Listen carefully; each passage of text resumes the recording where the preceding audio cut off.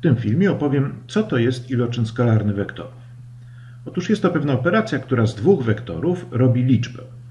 Ale zanim o tym opowiem, może przypomnę, jakie są podstawowe operacje na wektorach, więc taką pierwszą podstawową operacją to jest dodawanie wektorów, czyli dodawanie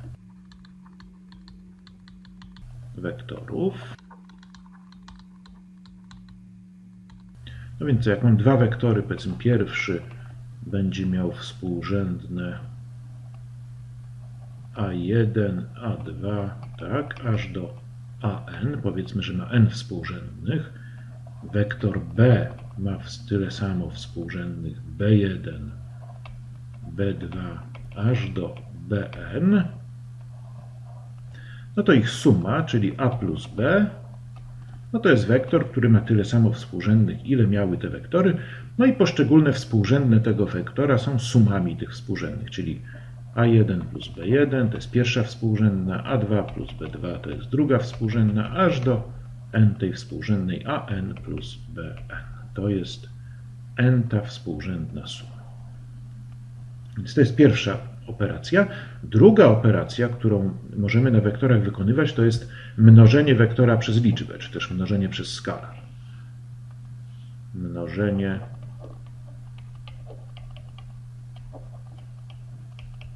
wektora przez liczbę.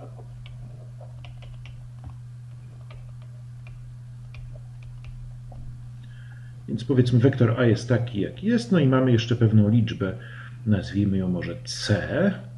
To jest liczba, powiedzmy, liczba rzeczywista. I co to jest C razy wektor A? No to, jest C razy A, to miał swoje współrzędne, A1, A2, AN. I to znowuż jest wektor, który ma tyle samo współrzędnych, ile miał wektor A, a jego współrzędne to są po prostu kolejne współrzędne wektora A pomnożone przez liczbę C, czyli CA1, CA2, CAN. Dobrze. I to są dwie podstawowe operacje. Więc dodawanie wektorów z dwóch wektorów robi wektor i mnożenie wektora przez liczbę, no z liczby i wektora robi wektor. Dobrze, i teraz zanim powiem o iloczynie skalarnym, może rozwiążmy następujące zadanie, aby może jakoś umotywować to pojęcie. Więc sytuacja jest taka. Mam tutaj układ współrzędnych na płaszczyźnie, wobec tego każdy punkt odpowiada pewnemu wektorowi zaczepionemu w zerze, czyli mam wektor A o współrzędnych A1, A2, to jest ten wektor tutaj. Jego koniec oznaczyłem literką A duże i wektor B, B1, B2 ma współrzędne. No jego koniec nie będzie nam potrzebny, więc nie oznaczyłem go żadną literką. I teraz naszym celem jest, y, i teraz mm, chcemy policzyć kosinus kąta pomiędzy tymi wektorami. No, czyli to jest kąt alfa i naszym celem jest wyrażenie, no, czy w ogóle to się da, wyrażenie kosinusa kąta za pomocą tych współrzędnych wektorów. No i jest taka sytuacja, że oba te wektory powiedzmy leżą w pierwszej ćwiartce, żeby już za bardzo nie komplikować. Czyli ten kosinus kąta, no to jak? No musimy mieć jakiś trójkąt prostokątny, więc ta prosta L tutaj to jest prosta, która jest prostopadła do wektora B, czyli tak, przez literkę B oznaczyłem prostą, no, na której leży wektor B, przez literkę A prostą, na której leży wektor A, i teraz tak, czyli z końca wektora A, czyli z punktu A, wystawiam prostopadłą do prostej B. Ona przecina prostą B w punkcie P. No i teraz mam trójkąt prostokątny i kosinus tego kąta to jest OP podzielone przez OA, tak jak tu jest napisane. No dobrze, czyli co? Czyli naszym celem jest tak. Po pierwsze musimy y, znaleźć współczynnik kierunkowy prostej L, następnie napisać równanie tej prostej L, no i znaleźć ten punkt przecięcia, no i potem obliczyć odległość tego, y, tego punktu. No to jasne jest, jak mamy współrzędne, to wiemy jak obliczyć odległość, wiemy jak obliczyć długość oka. Czyli pierwszym zadaniem jest równanie prostej B, czyli prosta B, jakie ona ma równanie. No to w postaci y równe współczynnik kierunkowy razy x, prawda? Bo jest to prosta, która przechodzi przez 0. No, ponieważ wiemy, że punkt o współrzędnych B2, B1, B1, B2, punkt ten tutaj należy do tej prostej, no to jej równanie jasne jest, że wygląda tak. B2 przez B1 razy x, prawda? Dlatego, że to będzie równanie y równe współczynnik kierunkowy razy x. No i teraz jak teraz dla x równego b1, y musi być równe b2, no bo ten punkt należy do tej prostej, czyli jak x wstawię b, b, b1, no to y równe b2. Czyli to jest równanie prostej b. Teraz potrzebujemy współczynnika kierunkowego prostej L, więc współczynnik kierunkowy L. No to co? To proste prostopadły mają współczynniki kierunkowe. Jeżeli mam prostą o jakimś współczynniku kierunkowym, to prosta do niej prostopadła to jest minus, ten, minus odwrotność współczynnika, czyli współczynnik kierunkowy prostej L to jest minus B1 podzielone przez B2. Prawda?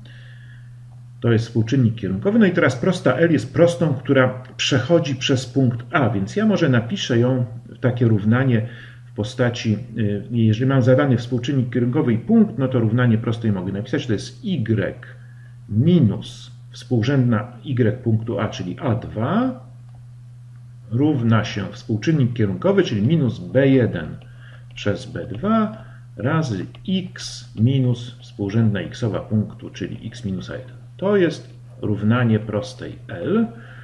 No i co? I teraz potrzebujemy przecięcia prostej L z prostą B, czyli mamy równanie prostej B, to jest tutaj, no i przecięcie to znaczy, że musimy rozwiązać taki układ równań. No to jest układ równań, który musimy rozwiązać. No i x, y to będą rozwiązania tego układu, to będą współrzędne punktu P. No dobrze, czyli przystępujemy do rozwiązania. No mam y, więc wstawię tutaj y do tego pierwszego równania, czyli mam tak b2x przez b1 minus a2 równa się minus b1 przez b2x minus a1. Dobrze, teraz mnożę przez b1, b2, tak, Czyli tu będę miał tak b1, b2, czyli będzie b2 do kwadratu x minus a2, b2, b1 równa się. Teraz co? Mnożyłem przez b1, b2, czyli jedno b2 się skróci, a tu zostanie minus b1 do kwadratu. Czyli mam minus b1 do kwadratu x plus b1 do kwadratu a1. Dobrze, teraz co? x przerzucam na lewą stronę, czyli będę miał tak x i wyciągam przed nawias, czyli x razy b1 do kwadratu plus b2 do kwadratu równa się, co mi tu zostanie? Y, może b1 sobie wyłączę, będę miał b1 i tu mi zostanie co? a1, b1 i tu mi zostanie A2B2 z plusem. A2B2. Dobrze. No to już mam x, teraz dzielę obie strony przez sumę tych kwadratów i mam tak. x równa się b1 a1 b1 plus a2 b2 podzielone przez b1 kwadrat plus b2 kwadrat. No teraz y. No y to widzę jest, ile jest. y to jest b2 przez b1 razy x. Czyli b1 się skróci i to będzie jedyna różnica, to że tu będzie stało b2. Czyli y to jest b2 a1 b1 plus a2 b2 podzielone przez b1 kwadrat plus b2 kwadrat. Dobrze, czyli to są współrzędne punktu P i teraz co? Muszę obliczyć OP. Czyli co? OP, długość tego odcinka, co to jest? Pierwiastek z x kwadrat plus y kwadrat, prawda? To jest odległość punktu od zera, to jest twierdzenie Pitagorasa, prawda? Mówi, że to jest tyle. No to co mam tak? x kwadrat to jest b1 kwadrat razy ten nawias do kwadratu.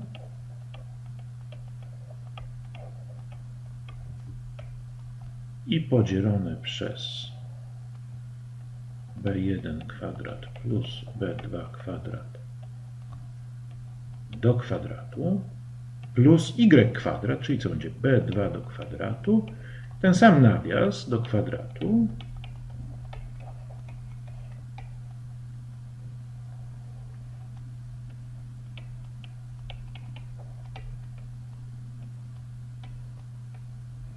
i pierwiastek.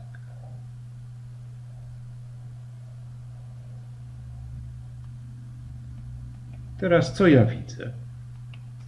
Widzę, że tak, tu mam wspólny czynnik, prawda? To jest mój wspólny czynnik, prawda? To jest wspólny czynnik.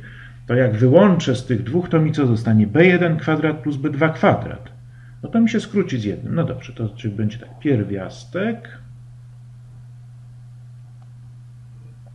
Co mi zostanie? Mi zostanie tak A1, B1 plus A2, B2